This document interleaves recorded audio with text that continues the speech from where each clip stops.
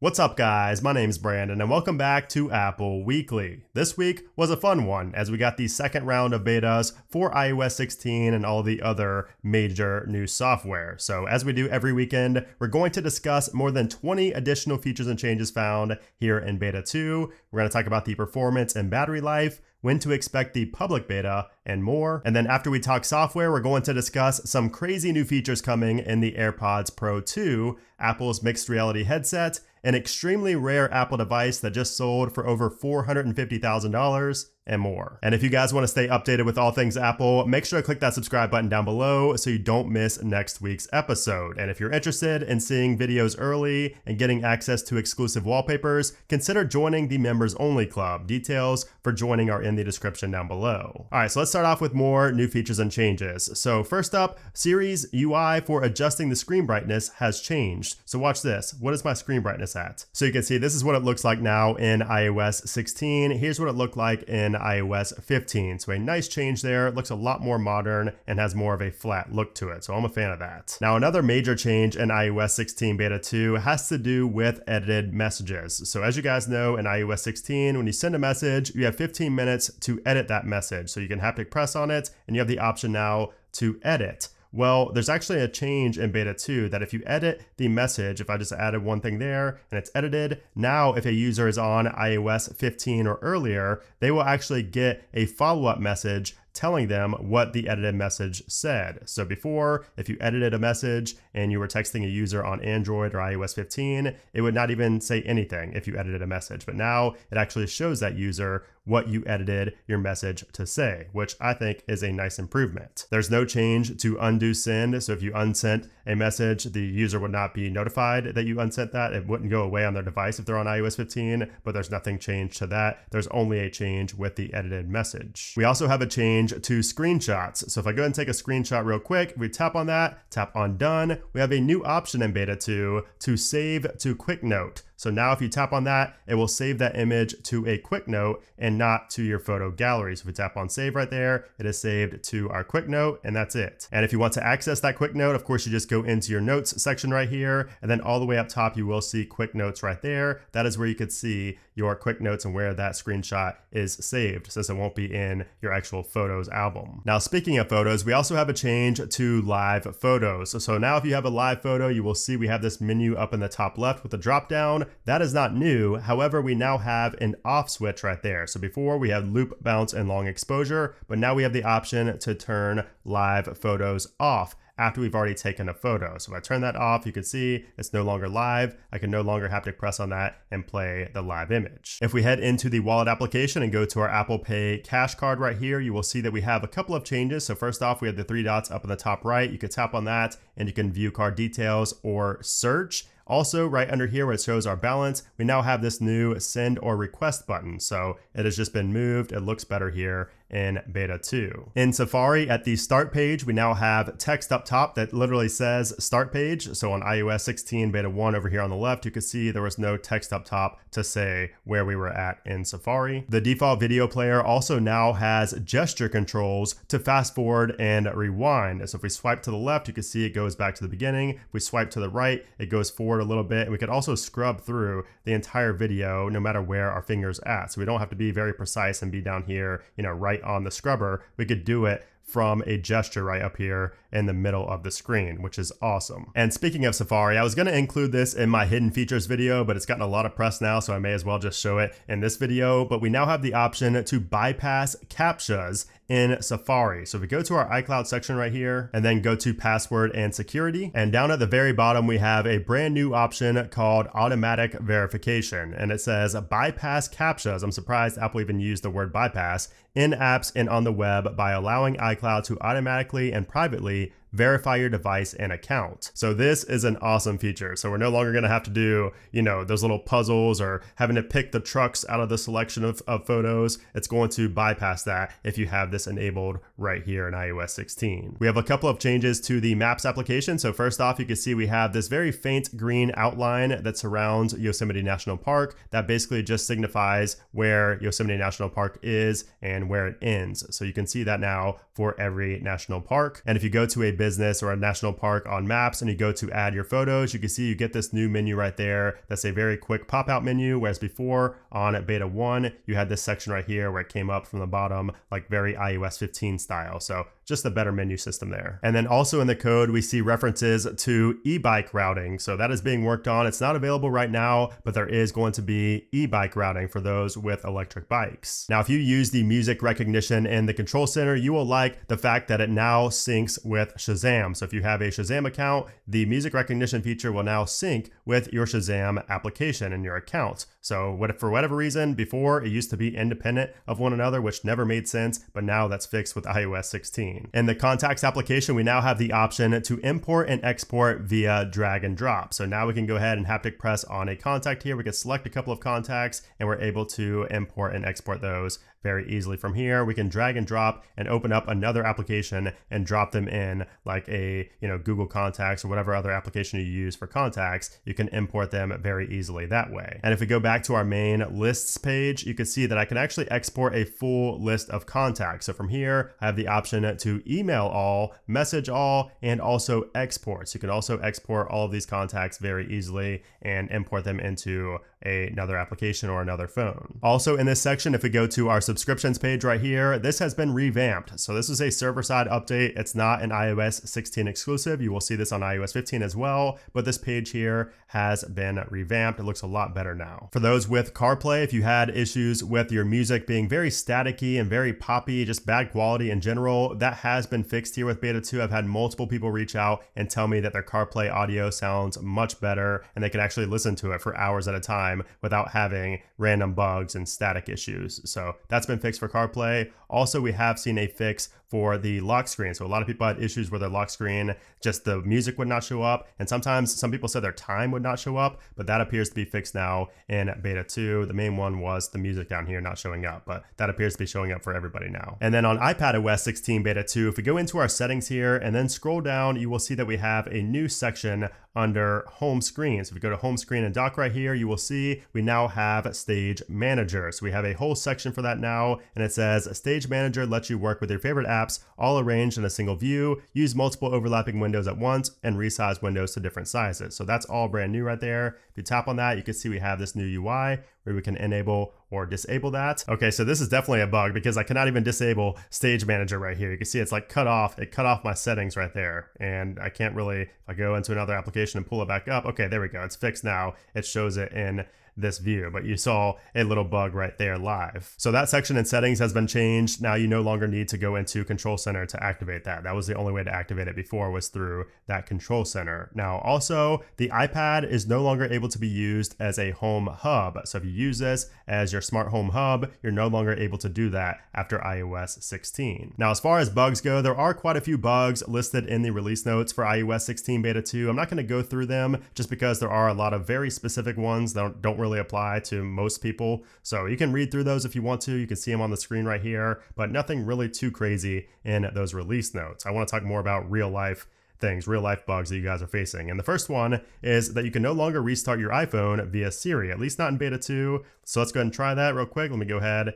and ask Siri to restart my phone. So you can see that Siri tells me it cannot restart my phone, but in beta 1, Look at this. You get the prompt to restart the device. So that could have been a bug in beta 1, but I'm thinking that's more of just a bug here in beta 2 that it's not working properly. So Apple may be fixing something on the back end with that. I've also noticed that in select applications, dictation crashes that application. So if I enable dictation and I start typing, you know, with my voice, sometimes the application will just completely crash. And if I go back into it, it will not save the text that I was typing. So it didn't happen right here for Twitter, but it has happened before. It's also happened for me in Safari and also in other third-party applications. And then if we enter into a focus mode right here, so I go into my recording a video focus mode, you can see still on the lock screen, there's nowhere to disable that focus mode. We have to go all the way into our control center here and tap it to turn it off. We need something on the lock screen there to disable or at least change our focus mode. And then I'm also having a lot of issues with my wallpaper section right here. So there's been multiple times where I tap on customize and I go ahead to customize current wallpaper and it will crash my settings. So that's happened to me twice.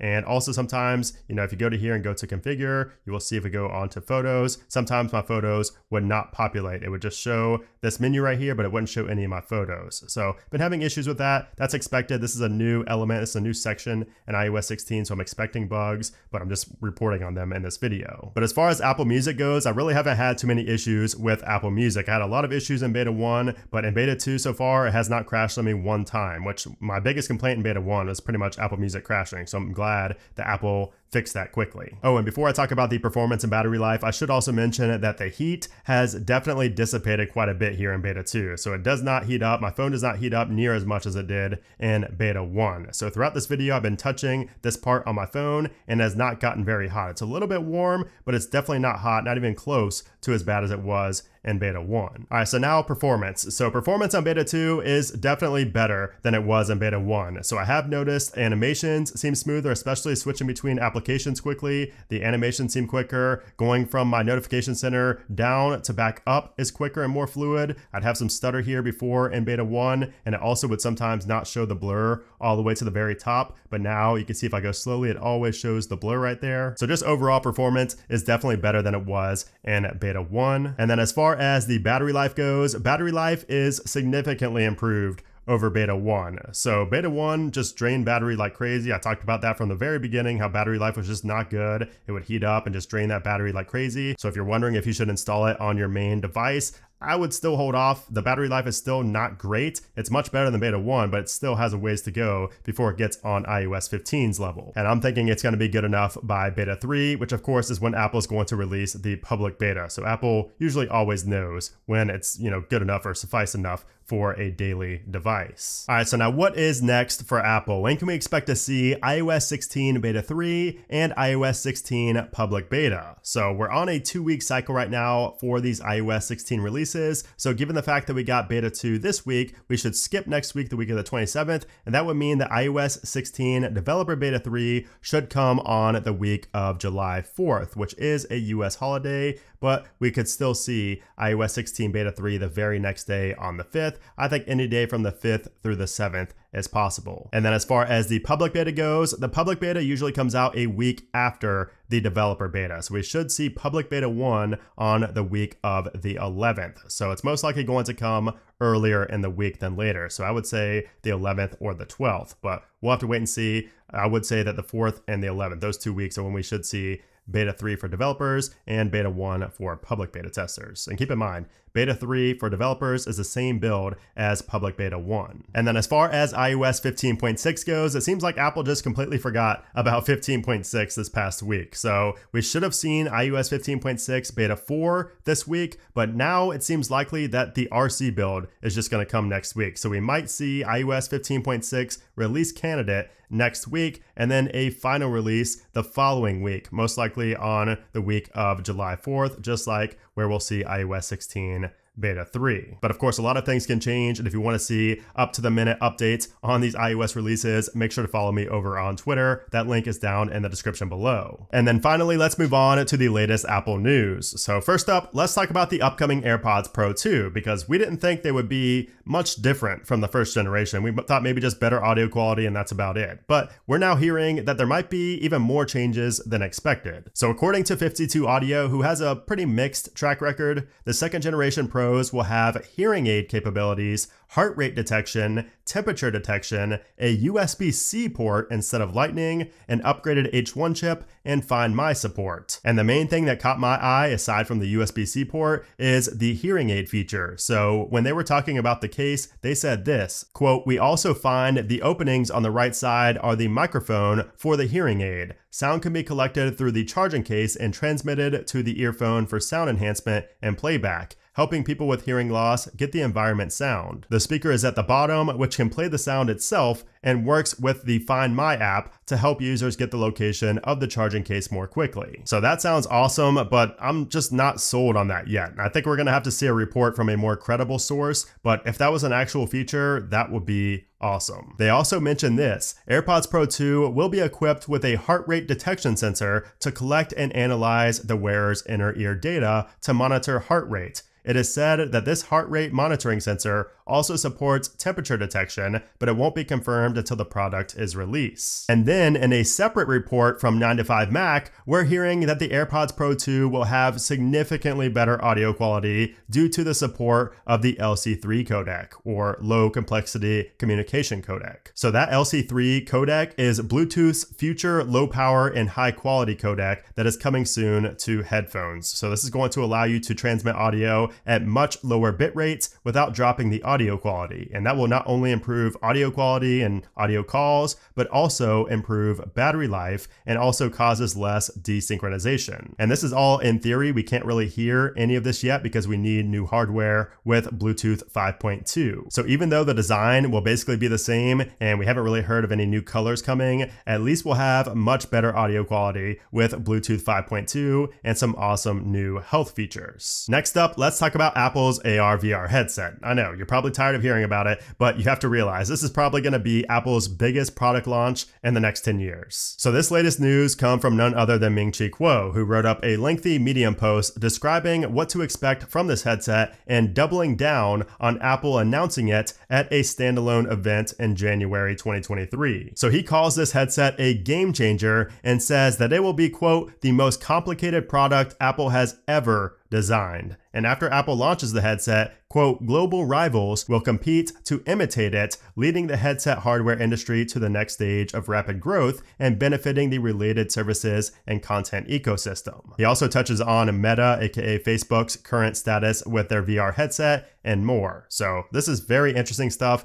and I just cannot wait for this announcement. I mean, I'm really ready to see what Apple's gonna do in this mixed reality space. And then finally, we don't have too much news this week, but do you guys remember a few episodes back when we talked about that rare Apple One computer that was signed by Woz that went up for auction on eBay? Well, that one sold for $340,000. But we also had another one that just recently sold at auction and it was even more rare. So this was an Apple One computer hand numbered by Steve Jobs himself. So it was one of 50 rare Byte Shop Apple One computers, which got its name from the infamous California computer shop called the Byte Shop. So back when Apple was just a small startup, Steve Jobs approached the owner and asked if he could sell Apple products in that store. So at the time, Jobs was planning to sell bare circuit boards for $40, but the owner told him that the only way he was going to be interested in selling those computers was if they were fully assembled, and he promised to order 50 of them for $500 each. So Jobs agreed, and the Byte Shop became the first retailer of the original Apple One computer. And over the span of the next 10 months, Jobs and Wozniak produced almost 200 Apple One computers and sold 175 of them. And now, all these years later, one of those computers just sold for $468,750, which was even more than the estimated $450,000 final bid. So that is just such a cool piece of history to have. And the whole story behind that is just awesome. So there you have it, guys. That is the latest batch of Apple news from this past week, along with some additional features and changes found in iOS 16 Beta 2. I hope you guys enjoyed this video. Big shout out to the members. I've been really pushing for members lately. I've been putting a lot of perks in there for members. So if you guys want to join the members only club, if you made it this far, I would really appreciate it. Just click the join button if you're on desktop. If not, I do have a link down in the description below if you're on mobile. But anyways, if you guys enjoyed this video, I would appreciate if you give it a thumbs up. Also, make sure to subscribe for more iOS 16 coverage, and of course, more Apple Weekly episodes coming every single weekend. But anyways, guys, thanks again for watching, and I'll see you soon.